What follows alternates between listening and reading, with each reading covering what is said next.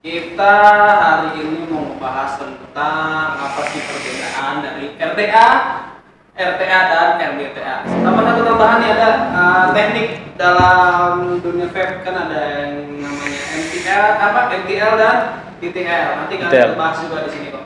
Oke, sebelum dilanjut videonya, lu harus klik tombol subscribe sekarang juga. Silahkan di like jika lu suka dengan konten videonya. Dan jangan lupa, nyalakan notifikasi loncengnya agar lu dapat update video-video selanjutnya. Oh iya, satu lagi, jangan lu skip videonya biar lu nggak gagal paham, oke? Keep watching in my channel!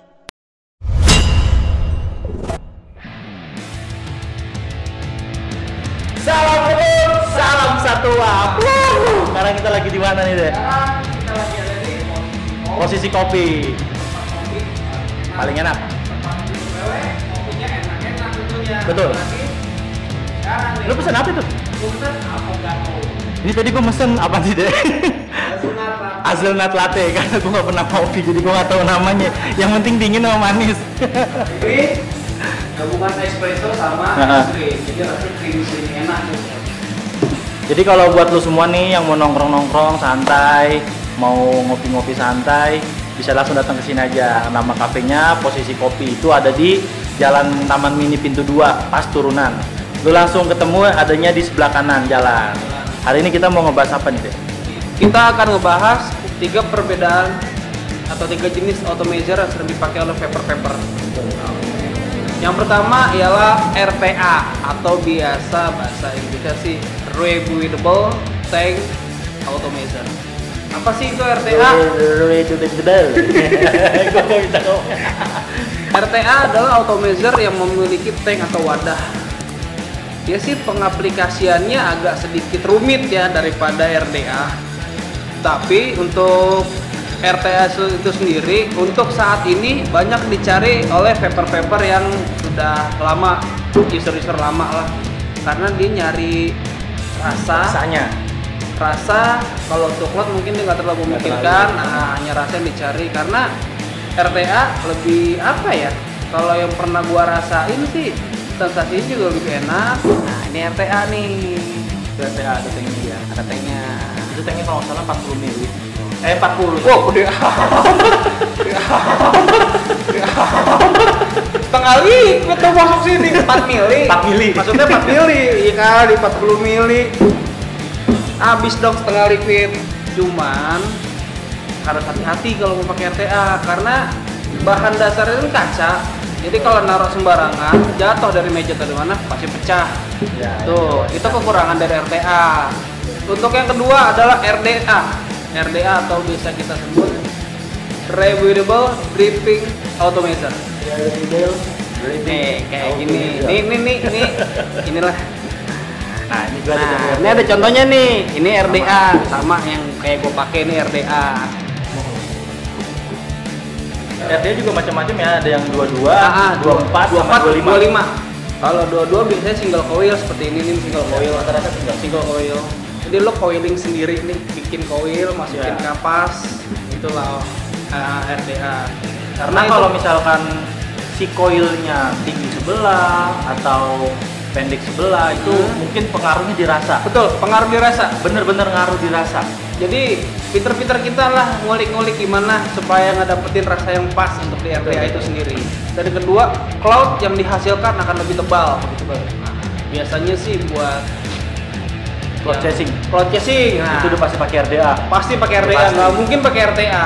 Itu pasti pakai RDA karena kan yang dinilai kan cloudnya tuh, karena itu pakai RDA dan coilingnya pun harus pas. Ya. Resisten ohmnya juga harus pas dan biasanya Saran gua, kalau untuk mau pakai RDA, kalau bisa jangan pakai ohm yang tinggi-tinggi. Di bawah 30. iya betul 25.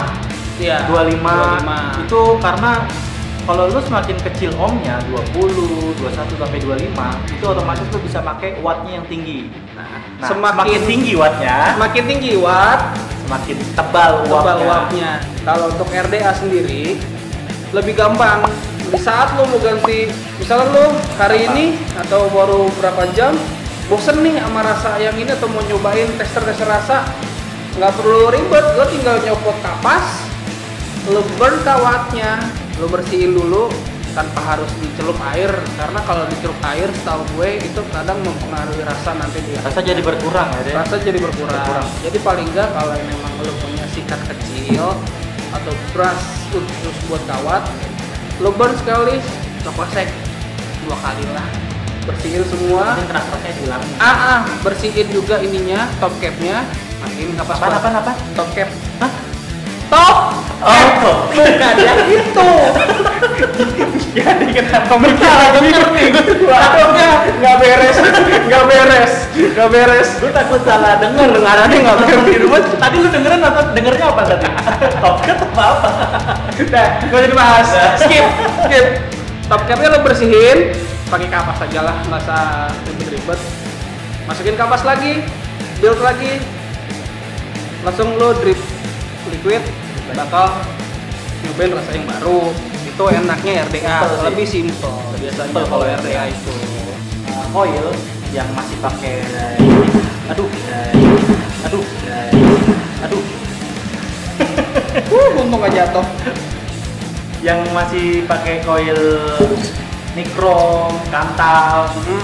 itu maksimal maksimal banget tujuh hari satu dan yang ketiga kita ngebahas tentang RDTA nah kalau RDTA RDTA itu sendiri jadi dia penggabungan antara RDA dan RTA karena bentuk automizer RDTA itu tanknya ada di bawah dan si kapas coilnya ada di atas jadi sistemnya itu bisa ditetes tergantung tergantung lo mau pakainya pakai sistem apa RDA ya udah berarti sistem tetes dan di bawahnya nggak ada liquid. Kalau males, tampung aja. tampung aja. Jadi sistemnya si kapas yang ada di atas itu harus menjulur ke bawah karena Nah, tanknya itu ada di bawah. Jadi ngeresap ke atas. Jadi ngeresap, ngeresap ke atas dia. Itu eh, bentuk dari automizer RDTA gitu. Itu kesimpulan dari RDTA. Kalau untuk pribadi lu, lu lebih setuju yang mana? RDA, RTA, atau RDTA? Tulis di kolom komentar. Nanti gue lihat. Eh, pembahasan selanjutnya kita akan ngebahas teknik dalam ngevape itu ada dua. Ada MTL atau mouth tulang.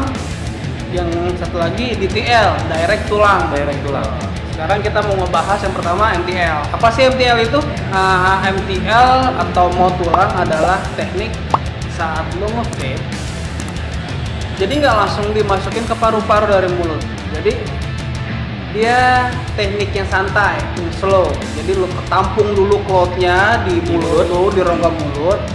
Tarik sedikit ke paru-paru baru lu hembuskan. Nah di situ dapat sensasi yang kalau liquid pakai pH yang gede atau mg yang gede pasti akan berasa nih di sini nih. Lebih berasa lagi. Biasanya sih kebanyakan dipakai di, di apa RTA kayak gini lah ini kan gue pakai RD apa RDA tapi settingannya settingan MTL MTL, MTL sama tulang jadi kayak gini.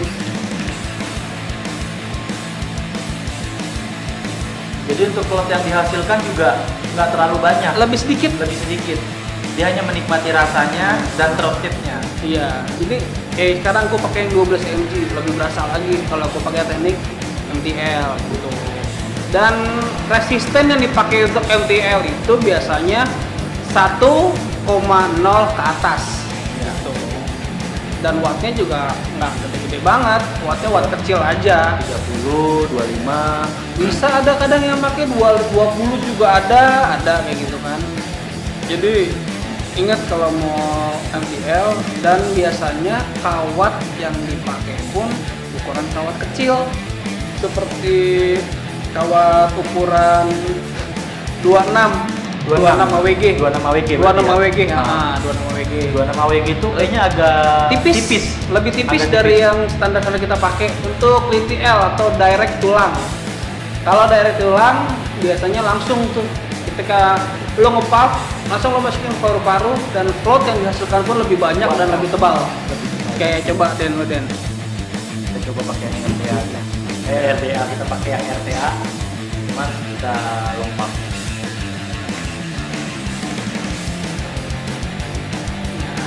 Gitu, itu Bang. teknik linti L. Gitu ya. Dan resisten yang dipakai biasanya 1,0 ke bawah. Ya untuk kawat biasa dipakai eh, 24 AWG. dua botol wigi yang dipakai. Dan 6 lilit biasanya. Itu akan menghasilkan cloud yang lebih banyak.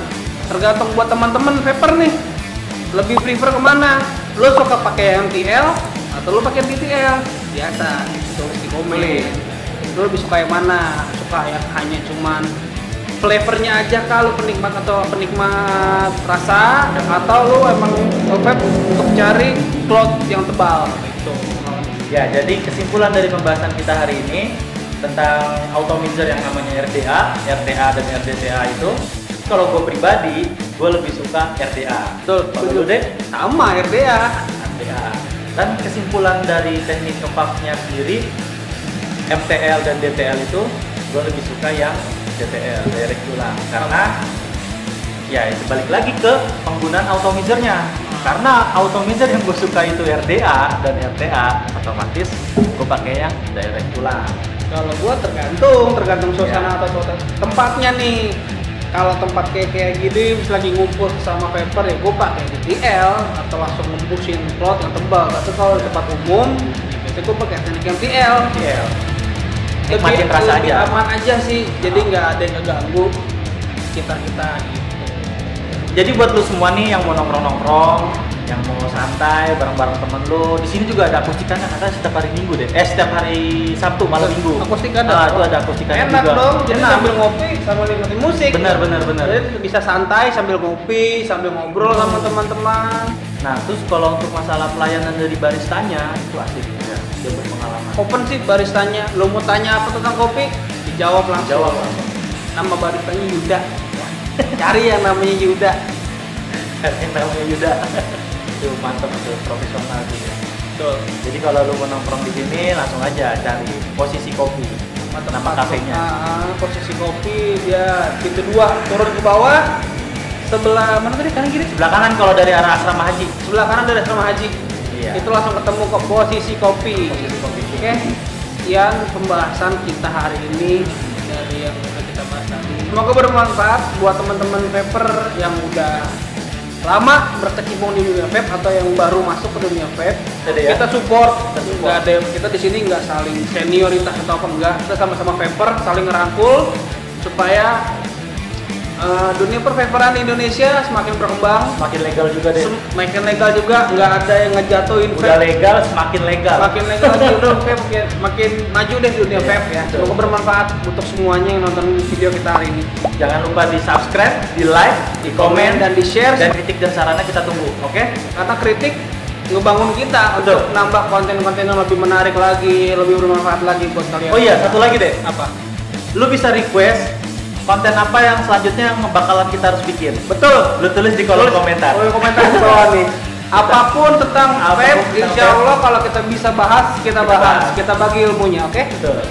Oke, sampai ketemu di video selanjutnya. salam ngebul salam satu wah